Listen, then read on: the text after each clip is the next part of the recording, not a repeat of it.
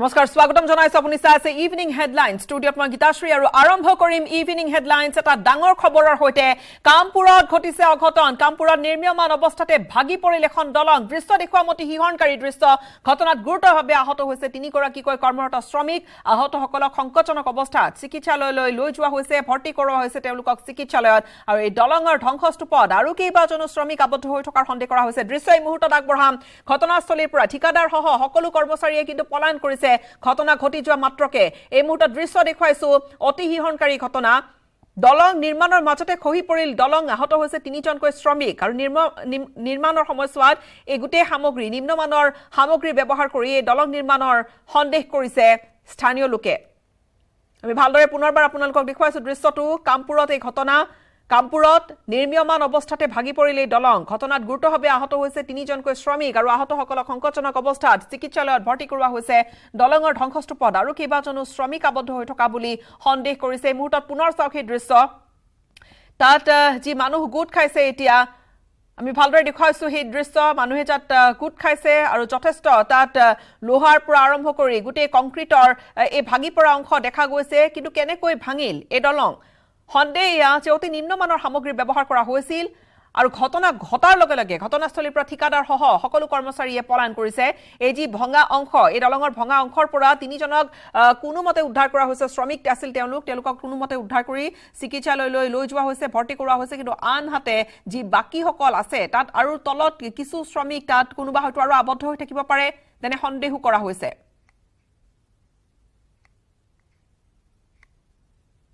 বস্তু আনি মানুহখিনি সোধা কোনোবা আছে নে নাছে সোধা কৰিব লগা ব্যৱস্থা আছে নাই?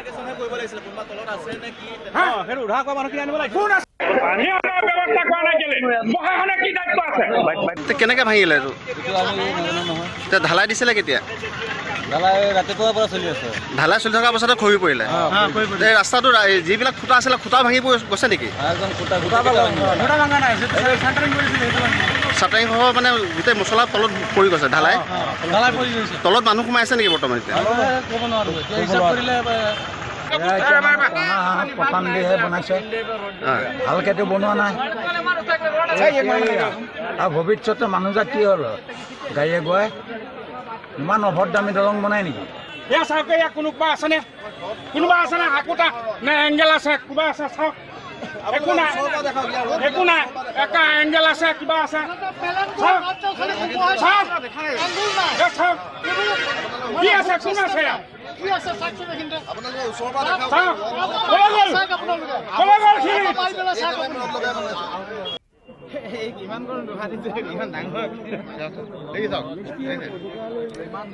ভালদৰে দেখুৱাইছো সেই দৃশ্য। চাওক খুটা সহ এই যি অংশ কংক্ৰিটৰ সেয়া ভাগি পৰিছে আৰু এই যি ভাগি পৰা অংশ তাৰ তলত তিনিগৰাকীকৈ শ্ৰমিক আছিল তেওঁলোকক কোনোমতে উদ্ধাৰ কৰা হৈছে।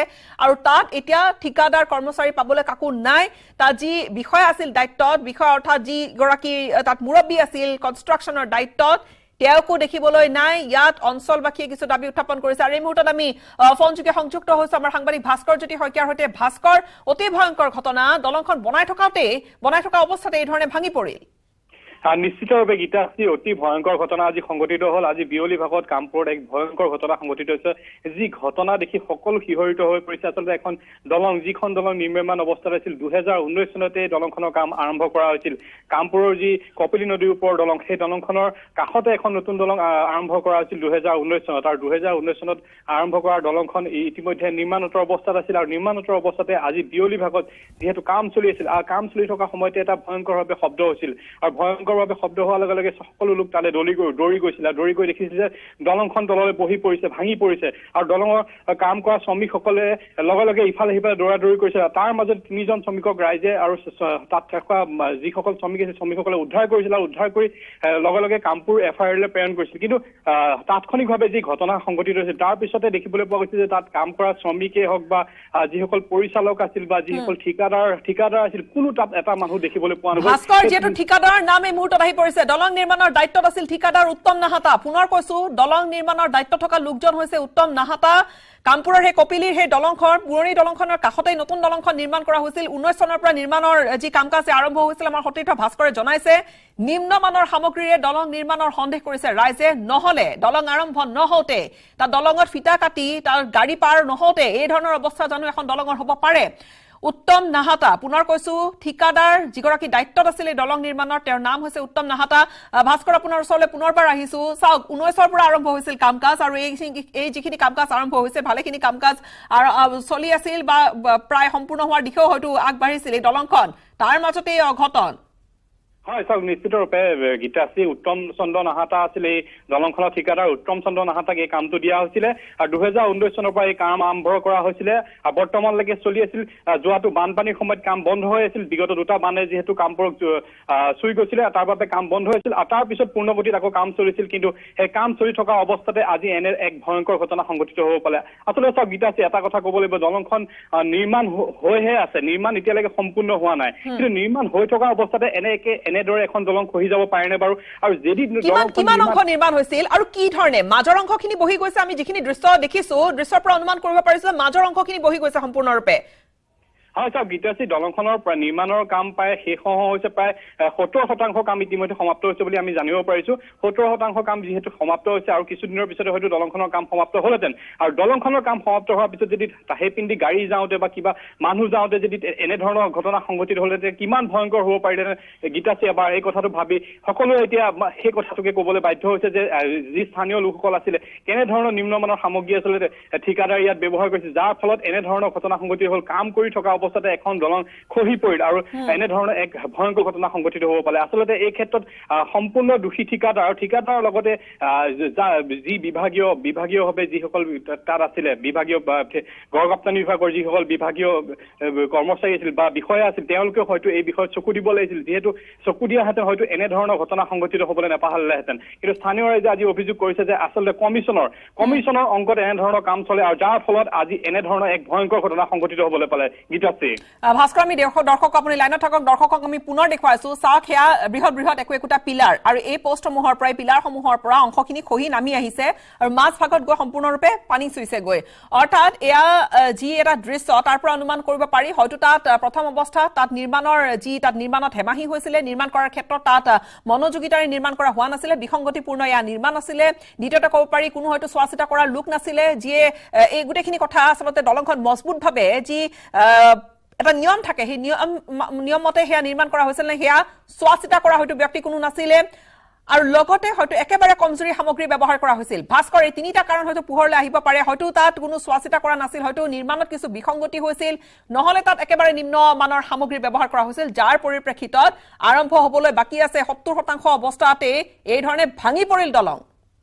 চাওক গীতাশ্ৰী এটা কথা ক'ব লাগিব যিজন ঠিকাদাৰক এই কামটো আবণ্টন কৰা দিয়া হৈছিল উত্তম চন্দ্ৰ নাহাতা তেওঁ এজন বিয়াগুম ঠিকাদাৰ। যিহেতু তেওঁ বিভিন্ন ধৰণৰ কাম কৰিছে পূৰ্বতেও কৰিছে বিয়াগুম এজন ঠিকাদাৰ। সেই ঠিকাদাৰে এনেধৰণৰ কাম কৰিব বুলি কোনেও হয়তো ভবা নাছিলে।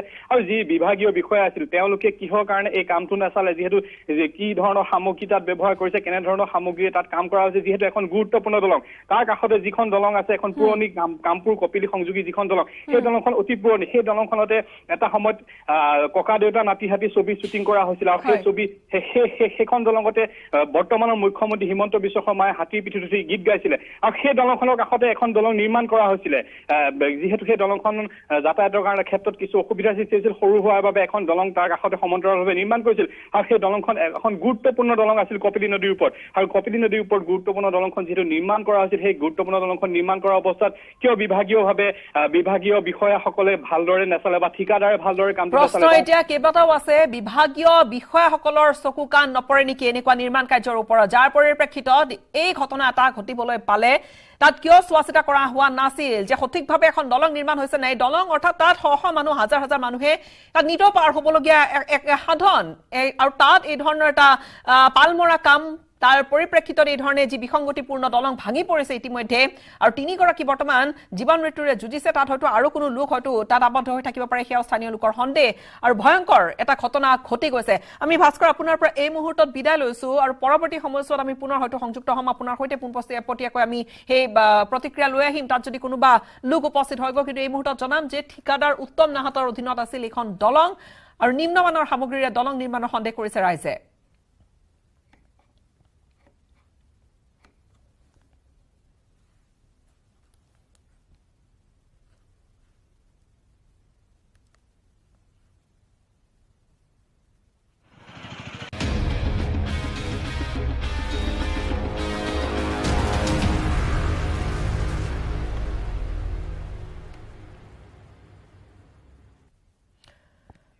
আৰু দাখিল হ'ল বাজেট দাখিল হ'ল দুহেজাৰ তেইছ চৌব্বিছ বৰ্ষৰ বাজেট। বাজেটৰ পাতে পাতে মনমোহিনী আঁচনি। দুহেজাৰ চৌব্বিছৰ নিৰ্বাচনী অংকৰে বিত্তমন্ত্ৰী অজন্তা নেওগৰ এই বাজেট। অজস্ৰ আঁচনি আৰু মন ভাল লগা কথাৰে আজি বিত্তমন্ত্ৰী অজন্তা নেওগে দাখিল কৰিলে দুহেজাৰ তেইছ চৌব্বিছ বৰ্ষৰ বাজেটখন। বাজেটত প্ৰতিটো বিভাগতে অভিলাষী আঁচনি গ্ৰহণ কৰাৰ লগতে গুৰুত্ব আৰোপ কৰা হৈছে শিক্ষা স্বাস্থ্য আন্তঃগাঁথনি আৰু পথ পৰিবহণৰ বিকাশৰ ওপৰত। ইয়াৰ লগতে কৰ্মসংস্থাপন সৃষ্টি কৰা ৰাজহ বৃদ্ধিৰ প্ৰস্তাৱ লোৱা হৈছে বাজেটখনত। বাজেটত ঘোষণা কৰা মতে কেইটামান বিশেষ পইণ্টাৰ্ছ আমি জনাই যাম।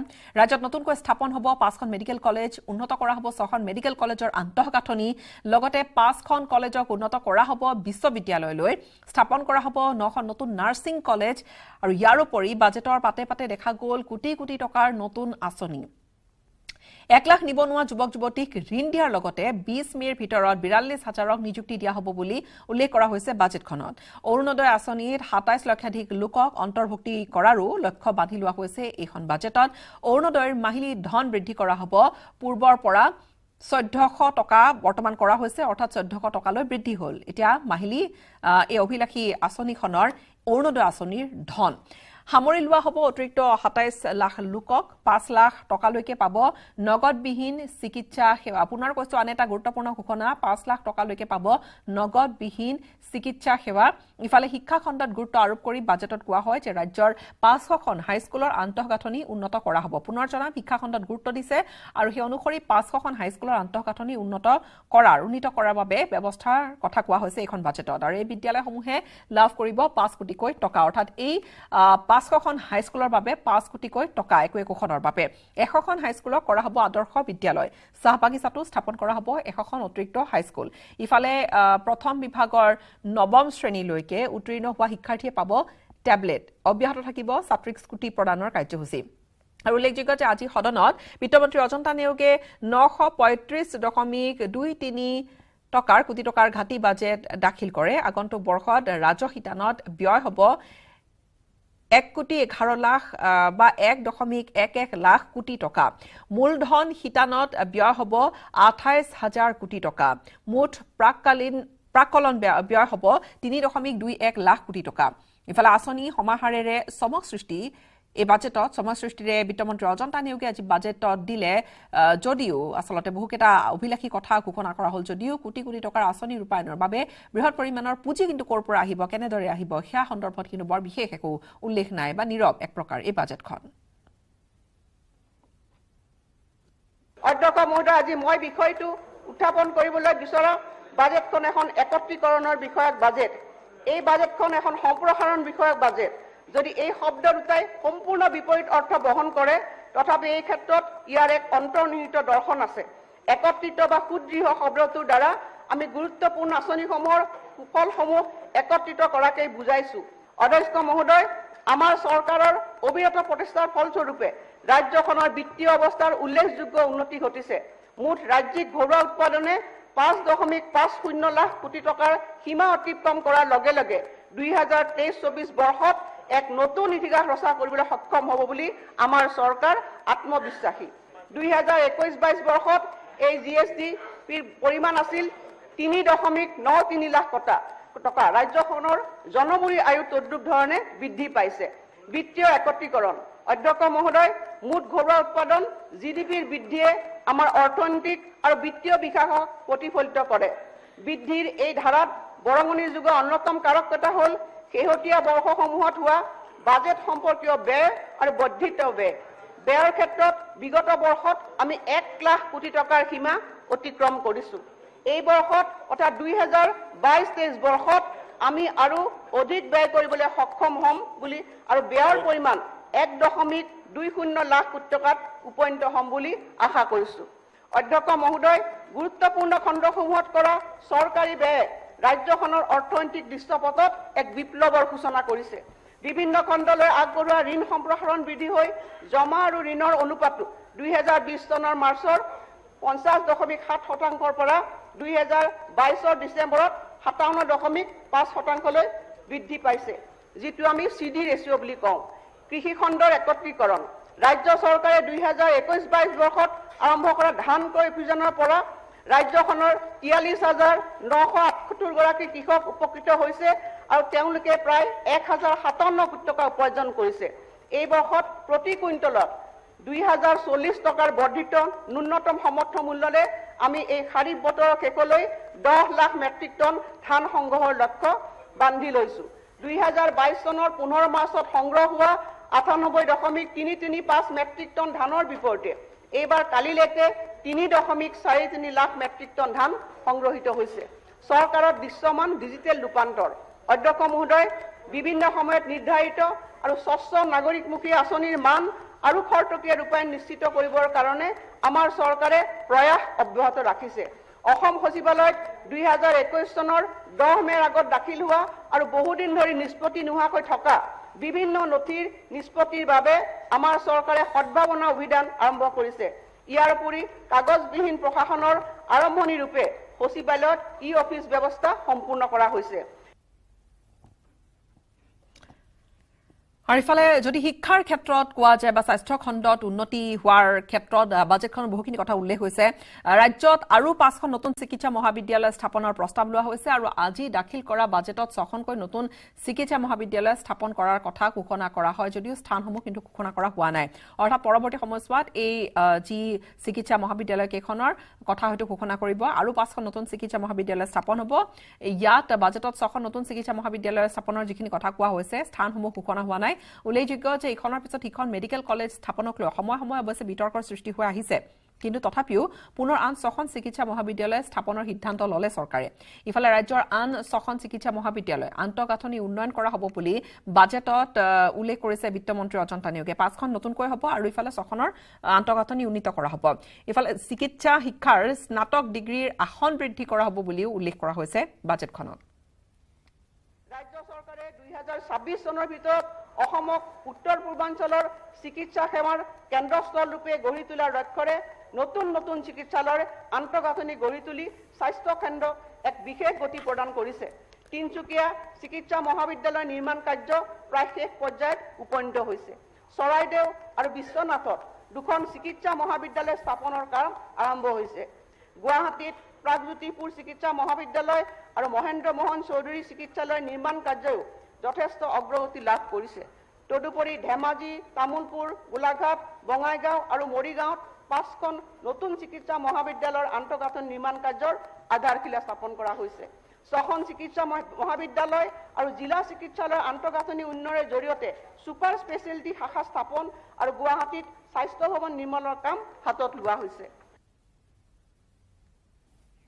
আৰু আজি দাখিল কৰা বাজেটত গুৰুত্ব দিয়া হ'ল ৰাজ্যৰ শিক্ষা খণ্ডৰ আন্তঃগাঁথনি উন্নয়নৰ ওপৰত। পাঁচশখন হাইস্কুলক দিয়া হ'ব পাঁচ কোটিকৈ টকা এশখন হাইস্কুলক কৰা হ'ব আদৰ্শ বিদ্যালয়। ইফালে চাহ বাগিচাত নতুনকৈ স্থাপন কৰা হ'ব আৰু এশখন হাইস্কুল। আনহাতে প্ৰথম স্থান লাভেৰে নৱম শ্ৰেণীলৈ উত্তীৰ্ণ হোৱা ছাত্ৰ ছাত্ৰীক দিয়া হ'ব টেবলেট। চৰকাৰী স্কুলৰ নৱম শ্ৰেণীৰ শিক্ষাৰ্থীক দিব চাইকেল। নৱম শ্ৰেণী পুনৰ কৈছো চৰকাৰী স্কুলৰ নৱম শ্ৰেণীত শিক্ষাৰ্থীয়ে পাব চাইকেল আৰু পূৰ্বৰ দৰে এইচ এছত প্ৰথম বিভাগত উত্তীৰ্ণ হোৱা ছাত্ৰীক স্কুটি প্ৰদান কৰা হ'ব। স্নাতক পৰ্যায়লৈ বিনামূলীয়া পাঠ্যপুথি আৰু স্নাতকোত্তৰৰ ছাত্ৰ ছাত্ৰীক দিব দহ হাজাৰ টকাকৈ অনুদান। বি পি এলৰ ছাত্ৰ ছাত্ৰীৰ বাবে মাচুল ৰেহাই দিয়া হ'ব বুলি ঘোষণা কৰা হৈছে বাজেটত। ৰাজ্যত কেইবা দশকৰ অন্তত প্ৰাদেশিকৰণৰ জৰিয়তে বহু সংখ্যক উচ্চ মাধ্যমিক বিদ্যালয়ক স্বীকৃতি প্ৰদান কৰিছে। ইয়াৰ ভিতৰত বেছি সংখ্যক বিদ্যালয়তে প্ৰয়োজনীয় আন্তঃগাঁথনিৰ অভাৱ পৰিলক্ষিত হৈছিল। বিদ্যালয়সমূহৰ অৱস্থা উন্নতকৰণ কৰাৰ বাবে কেইবাটাও পদক্ষেপ গ্ৰহণ কৰা হৈছে আৰু আজি আমি এই বিদ্যালয়সমূহৰ নিৰ্দিষ্ট মান লাভ কৰিবলৈ সক্ষম হৈছো। পুনৰ উজ্জীৱিত অসমত শিক্ষা খণ্ডই প্ৰধান স্থান লাভ কৰিছে যদিও এই বিদ্যালয়সমূহৰ আন্তঃগাঁথনিৰ উন্নয়ন আৰু আধুনিকৰণৰো প্ৰয়োজনীয়তা আছে। অধ্যক্ষ মহোদয় আমি প্ৰায় পাঁচশখন উচ্চ মাধ্যমিক বিদ্যালয়ৰ প্ৰতিখনতে পাঁচ কোটি টকা ব্যয় সাপেক্ষে বিদ্যালয় ভ্ৰমণৰ আন্তঃগাঁথনি উন্নীকৰণৰ প্ৰক্ৰিয়া আমি হাতত লৈছোঁ।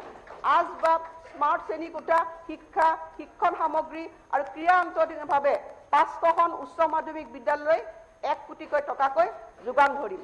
লক্ষ্য নিৰ্ধাৰিত পাঁচখন বিদ্যা পাঁচশখন বিদ্যালয়ৰ ভিতৰত বৰ্তমানে চাৰিশখন বিদ্যালয়ৰ নবীকৰণ আৰু আন এশখন নতুন বিদ্যালয় অত্যাধুনিক আন্তঃগাঁথনিৰ সৈতে আদৰ্শ বিদ্যালয় হিচাপে মডেল স্কুল হিচাপে নিৰ্মাণ কৰা হ'ব। অধ্যক্ষ মহোদয় মই অতি আনন্দ পাইছোঁ অধ্যক্ষ মহোদয়। শিক্ষা হৈছে সমাজৰ ভেটি।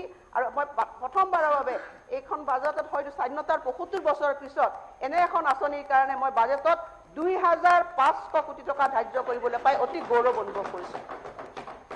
মহোদয় আমাৰ চাহ বাগিচা অঞ্চলত শিক্ষাৰ আন্তঃগাঁথনিৰ উন্নয়নত গুৰুত্ব প্ৰদান কৰি চলিত বছৰত আন এখন নতুন চাহ বাগিচা উচ্চ মাধ্যমিক বিদ্যালয় স্থাপনৰ কাম হাতত লোৱা হ'ব। এই বিদ্যালয়সমূহৰ নিৰ্মাণৰ বাবে বিভিন্ন আঁচনি যেনে পি এম ডিভাইড আৰ আই ডি এফ নেচিজ আৰু ৰাজ্যিক বাজেটৰ ধনেৰে একত্ৰিত পুঁজি গঠন কৰা হ'ব। নৱম শ্ৰেণীৰ ছাত্ৰ ছাত্ৰীসকলক প্ৰেৰণা যোগোৱা আৰু পৰামৰ্শদাতাৰ জৰিয়তে তেওঁলোকৰ মাজত কেৰিয়াৰ সম্পৰ্কীয় সজাগতা সৃষ্টিৰ বাবে আৰোহণ নামৰ আঁচনিৰ শুভাৰম্ভ কৰা হৈছে। চৰাইদেউ আৰু শিৱসাগৰ জিলাৰ ছাত্ৰ ছাত্ৰীয়ে গুৱাহাটীৰ কেইবাখনো আগশাৰীৰ শৈক্ষিক প্ৰতিষ্ঠান পৰিষদ দৰ্শন কৰাৰ লগতে মাননীয় মুখ্যমন্ত্ৰীৰ সৈতেও মত বিনিময়ৰ সুযোগ লাভ কৰিছে। ধাৰাবাহিকতা ৰক্ষা কৰি এইবাৰো প্ৰথম স্থান লাভ কৰি নৱম শ্ৰেণীলৈ উত্তীৰ্ণ হোৱা ছাত্ৰ ছাত্ৰীসকললৈ টেবলেট প্ৰদান কৰা হ'ব। আৰু এই টেবলেটসমূহত শৈক্ষিক বিষয়বস্তু যোগানেৰে কেন্দ্ৰীয় এজেঞ্চি আৰু পৰামৰ্শদাতাৰ সৈতে যুক্ত কৰা হ'ব। অধ্যক্ষ মহোদয় আমাৰ চৰকাৰে প্ৰজ্ঞান ভাৰতীৰ অধীনত বিগত বৰ্ষত গ্ৰহণ কৰা পদক্ষেপ এইবাৰো অধিক সক্ৰিয়তাৰে অব্যাহত ৰাখিব। ইয়াৰ ভিতৰত আছে চৰকাৰে চৰকাৰী আৰু প্ৰাদেশিক মাধ্যমিক বিদ্যালয়ৰ নৱম শ্ৰেণীৰ ছাত্ৰ ছাত্ৰীসকললৈ বিনামূলীয়া চাইকেল প্ৰদান। বিনামূলীয়া পাঠ্যপুথি প্ৰদান। স্নাতক পৰ্যায়লৈকে ছাত্ৰ ছাত্ৰীসকললৈ পাঠ্যপুথিৰ বাবে সাহায্য প্ৰদান। ডিগ্ৰী চিকিৎসা বিজ্ঞান আৰু পলিটেকনিক শিক্ষানুষ্ঠানসমূহৰ স্নাতক আৰু স্নাতকোত্তৰ পৰ্যায়ৰ ছাত্ৰ ছাত্ৰীসকললৈ প্ৰতি মাহে ঊৰ্ধতম দুই হাজাৰ টকালৈকে হোষ্টেল মাচুল ৰেহাই। উচ্চতৰ মাধ্যমিক পৰীক্ষাত প্ৰথম বিভাগত উত্তীৰ্ণ হোৱা মেধাৱী ল'ৰা ছোৱালীলৈ স্কুটি প্ৰদান। চিকিৎসা বিজ্ঞানৰ বাহিৰে অন্যান্য স্নাতকোত্তৰ শ্ৰেণীৰ ছাত্ৰ ছাত্ৰীসকলৰ প্ৰতি বছৰে দহ হাজাৰ টকাৰ যাতায়াতী অনুদান প্ৰদান। দৰিদ্ৰ সীমাৰেখাৰ তলৰ সকলো ছাত্ৰ ছাত্ৰীসকললৈ মাচুল ৰেহাই। হাইস্কুল শিক্ষান্ত পৰীক্ষাত উত্তীৰ্ণ অৰ্হতা সম্পৰ্ক সম্পন্ন ছাত্ৰ ছাত্ৰীসকললৈ আনন্দমূৰা বঁটা প্ৰদান আৰু অনুসূচিত জাতি অনুসূচিত জনজাতি সংখ্যালঘু আৰু চাহ বাগিচা সম্প্ৰদায়ৰ ছাত্ৰ ছাত্ৰীসকললৈ জলপানী প্ৰদান। খবৰ ধাৰা অব্যাহত ৰাখিম। সময়খিনিতে এটা বাণিজ্যিক বিৰতিৰ।